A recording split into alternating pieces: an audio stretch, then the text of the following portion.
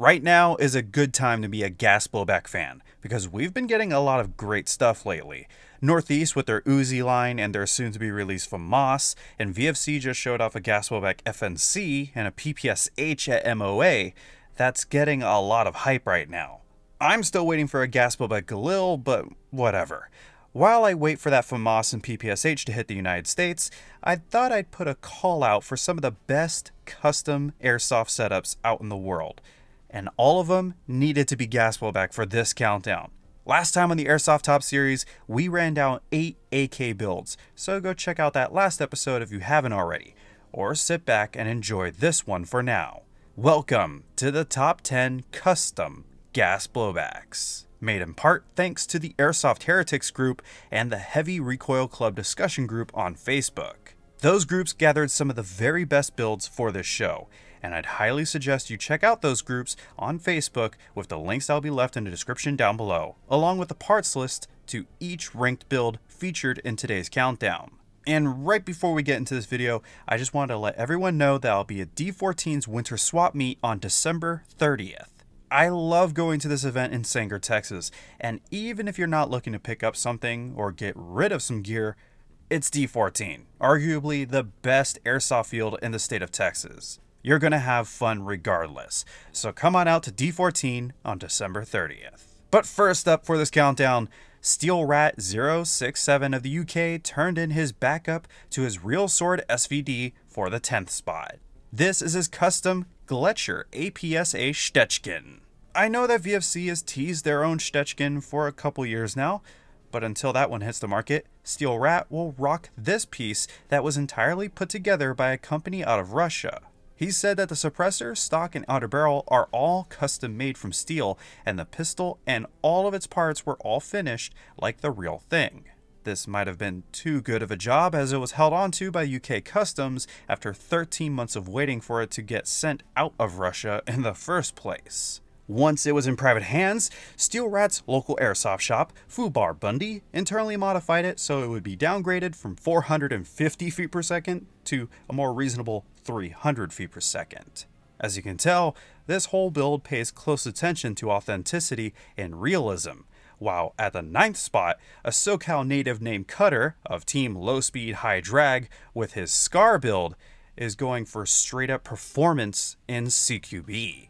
Cutter wanted to keep this $1,300 package as compact as possible, so a side folding stock had to remain on it, even if that meant that he hated the look of the notorious Ugg boot stock. So he switched it to a Picatinny adapter and a short MCX stock as it folds perfectly against the AW custom drum mag without blocking any controls. Then he threw on an Odin Mini GL Light and laser combo, However, GamePod recently just banned lasers before he could even field this build, and that's terrible timing. But at least the Mad Bull PWS rail extension adds a little bit more flair. For how people fight over if the SIG MCX stock is good looking or not, I think it's striking on this SCAR, and I give Cutter props for running a gas blowback rifle in CQB. I actually give props to anyone running a gas blowback rifle in any environment, but especially in CQB which helps me transition into the eighth spot nicely, which is held onto by the founder and owner of the Heavy Recoil Club, Ivo, aka Bridges, for his custom WE Tech PDW.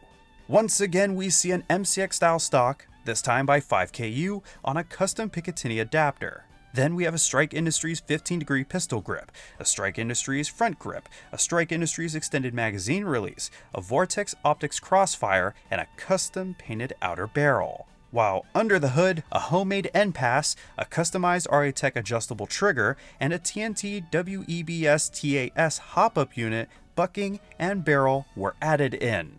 Recently, I've noticed that the Knights Armament PDW has fallen off a bit in popularity in the past couple years so I'm happy to see one submitted for this episode of the Airsoft Top Series, especially since it's coming from the Heavy Recoil Club itself. And I'll let you guys debate in the comments down below which of these two setups would you rather rock in CQB.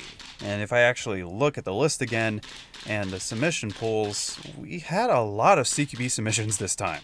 The next three spot holders are all CQB dominant builds. But I gotta show some love to stuff like this FN57 by Ed, who designed his own 3D printed trace unit that was stylized to look like Sam Fisher's 5.7. It's said to also have a Guarder slide and a 6.01mm inner barrel. And I cannot skip Column's minier M14, which he put together with a KJW KCO2. Of course, this KCO2 is full of Rogue Works internals with a Flamingo bucking, a Mark 23 suppressor, a beautiful Samson B Team walnut stock, and a Game Reaper 1022 scope mount, holding onto an Ares ZF39 replica scope. Which is a pretty interesting pick, but okay. Then to finish this build, you'd find a BFG sling, a custom-made tapered barrel by Project Precision Tuning on Discord, and a modded grub screw TDC. I might not be able to show off every single build that was submitted for this show, but I'll always try my best. However, moving along to the second pistol for this episode, Leon X Montana of San Diego presents his ground up HiCapa build.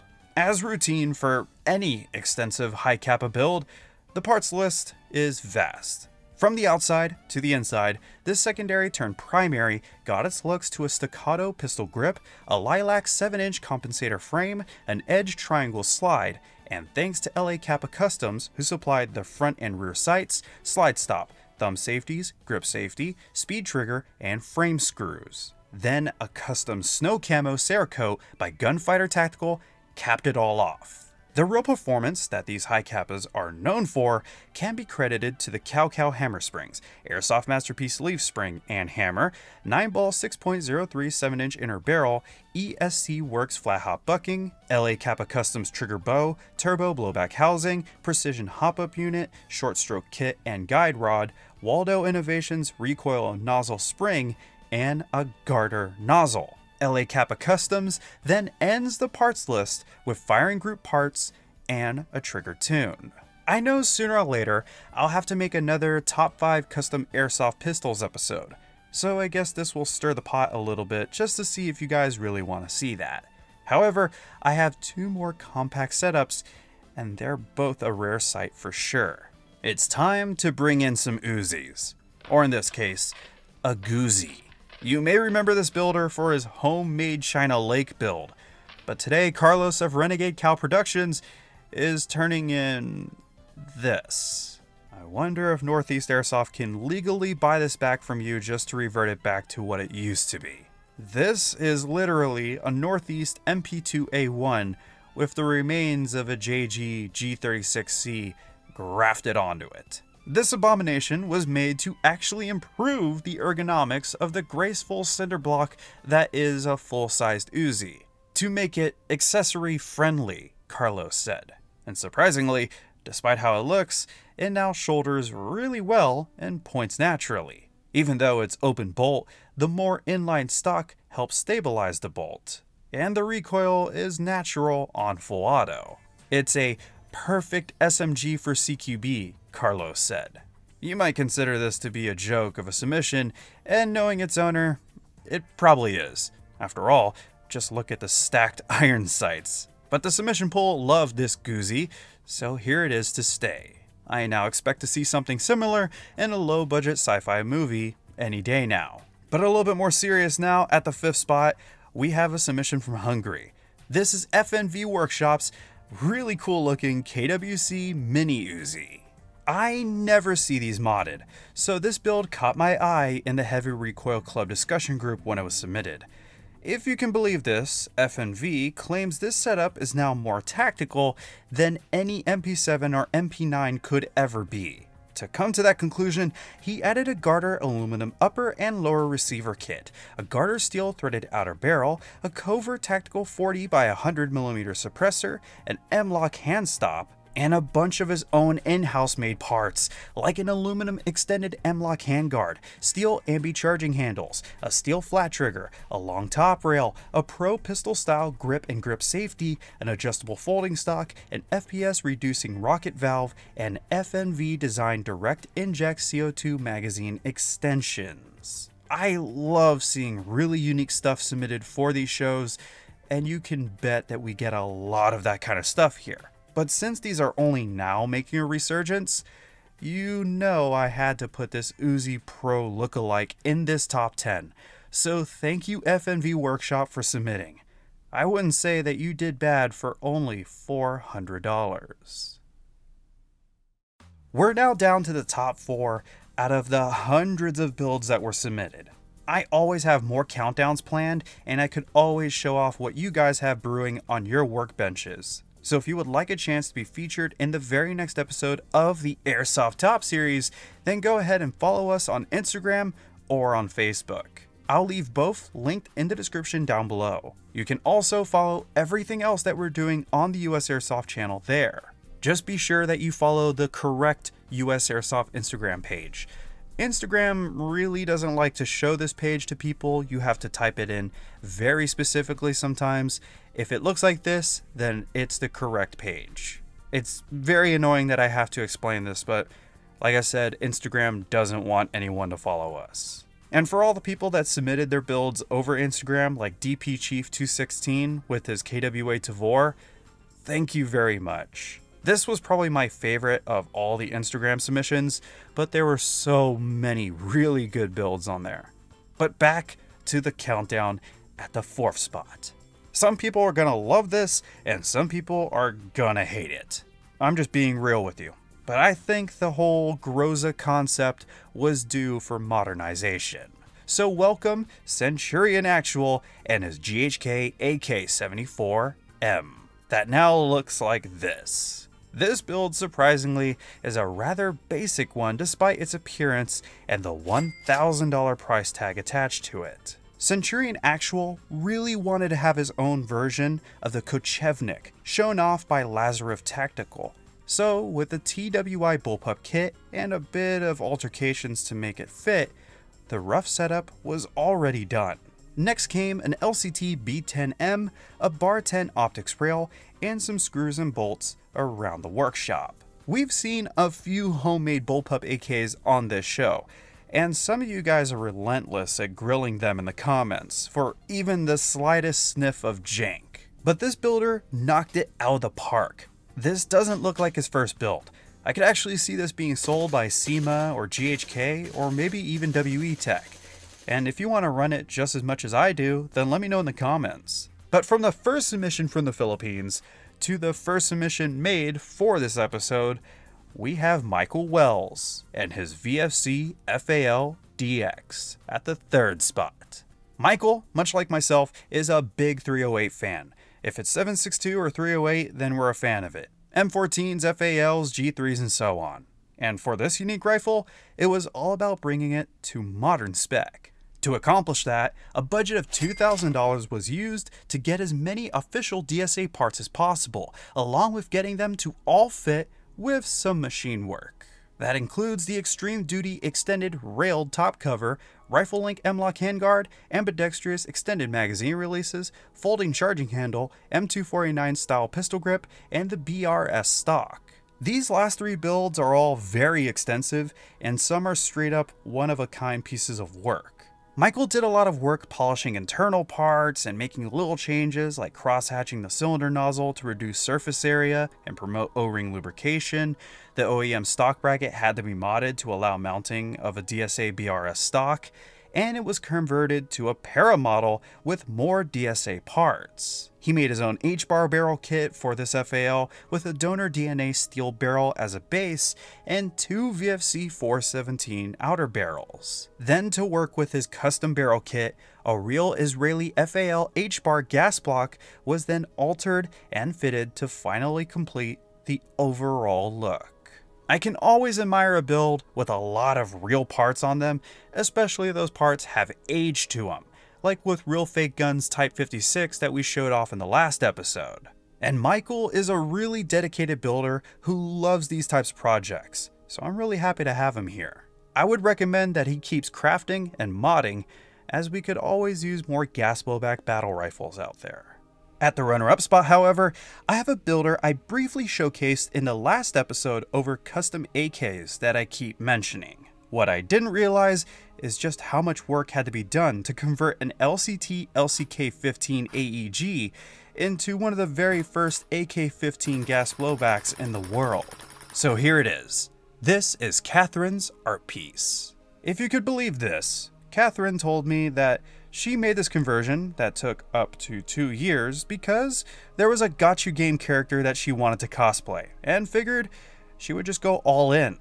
Of course, something like converting an AEG to a gas blowback takes a lot of machine work, and that's very true. First, the barrel had to be cut down to fit the FCG and magazine. She had to drill the pinholes for the FCG pins and sliced out some of the steel reinforcements that LCT put in. She then designed her own 3D printed rear trunnion and pistol grip adapter to use the original AEG grip.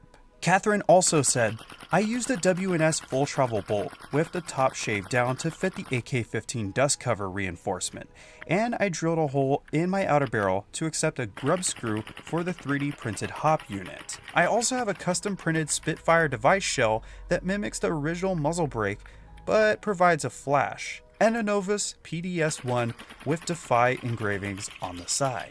Last was an Arcturus magazine release and stock because the original LCT release broke and the stock wasn't QD spec and couldn't fit my sling. Of course, you can expect the full parts list in the description down below, but for now, we have a GHK fire control group, GHK magazine internals using the Devil Hunter modifications, or just green gas depending on the field, a GHK 1 joule nozzle, a WNS full travel bolt and parts set, Hephaestus steel firing pin and trigger sear, a Maple Leaf 370mm Crazy Jet barrel with a Maple Leaf 6 degree bucking, a Novus PDS-1 prism sight with custom Defy team name laser engraved on the side, an Arcturus AK-12 magazine catch and stock, those Spitfire tracer unit internals we mentioned, and a Ferro Concepts single point sling. Then the hop up unit and feed ramp, magazine shells, rear trunnion, pistol grip adapter, and oversized flash hider were all 3D printed to complete this AK 15.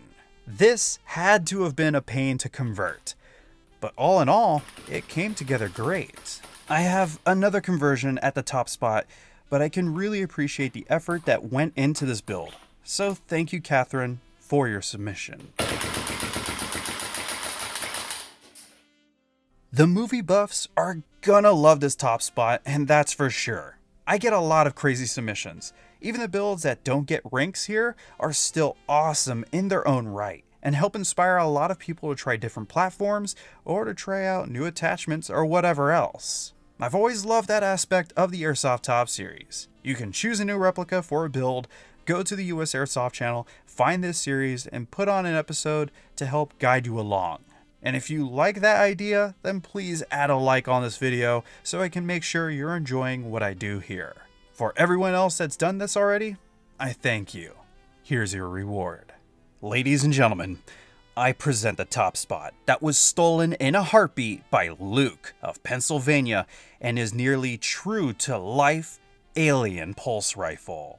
Luke has been on the show before for his amazing smart gun loadout, but this is his redemption arc because thanks to shared love of aliens with his father, you're looking at a fully functioning WE Tech Thompson and APS Cam 870 combo in a real SPAS 12 heat shield that he got from Adam Savage of all people. Story goes that Adam was having an auction for a bunch of old spare parts and gear from past projects of his. And after a lot of careful studying of the pictures that were put up for the auction, Luke and his father hopped on a sale and got the heat shield from a real SPAS 12 for only $100 when it would have sold alone for $600 plus if they could even find one for sale. But the interesting story behind the heat shield they got could never be bought elsewhere. Luke also got a few other replica parts later on that helped on getting the sizing and shaping for the main body correct.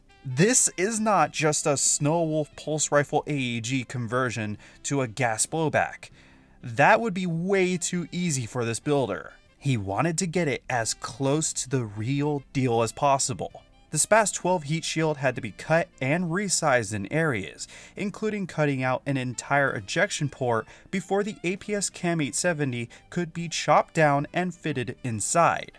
Afterwards, those parts had to be mounted to the Thompson with a bracket that this father and son duo machined. Then they learned how to forge aluminum and made the custom die and hammer forged sheet aluminum body.